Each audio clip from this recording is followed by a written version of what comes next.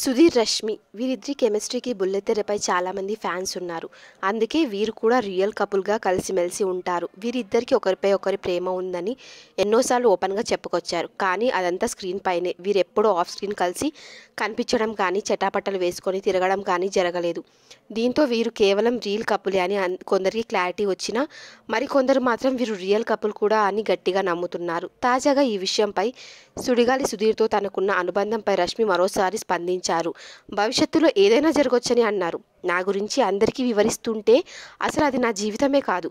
అన్ని విషయాల్ని చెప్పాల్సిన అవసరం లేదు. అది నా వ్యక్తిగతం అని రష్మి అన్నారు. వ్యాఖ్యాత నటుడు సుడిగాలి సుధీర్తో తనకున్న సంబంధం గురించి ప్రశ్న ఎదురుగా ఆమె స్పందించారు. రష్మి నందు జంటగా నటించిన బొమ్మ బ్లాక్ బస్టర్ సినిమా ఇటీవల విడుదలైంది.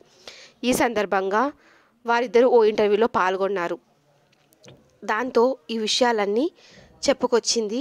ఆ ఇంటర్వ్యూలో విషయాలన్నీ చెప్పుకొచ్చింది రష్మి. ఈ వీడియో కనుక నచ్చినట్లయితే లైక్ చేసి షేర్ చేసి సబ్స్క్రైబ్ చేయడం మాత్రం మర్చిపోకండి.